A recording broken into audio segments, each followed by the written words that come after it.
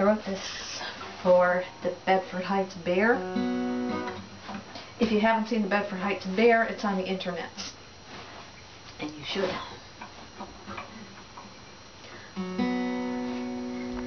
Well, hey there, bear, what you doing up there? Climbing the tree lawn tree. You scrambling all around these cookie cutter homes.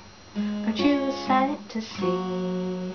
You don't seem confused or even surprised. You're just as casually soda pop. You're just a rambling and a rolling, a stretching and a strolling, and doing the same bear bop.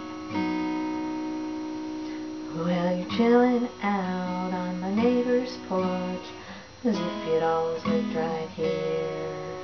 And the people they come and they point and stare. Perhaps I'll offer you, perhaps I'll offer you a beer. And is fine in this hood of mine. We're all thinking that this place is a tops. You're just wheeling and rolling and stretching and strolling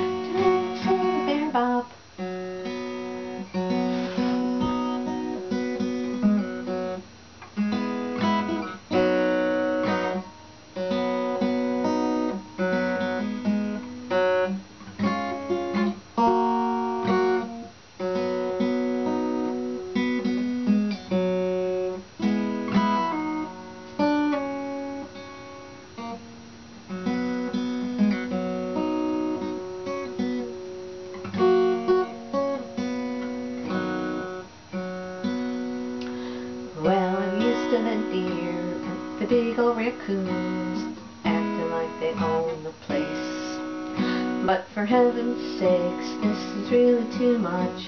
You gotta do a double take. With a sweater and a sonder, he's just doing what he wants to, making everybody jump and shout. It's just a rolling and a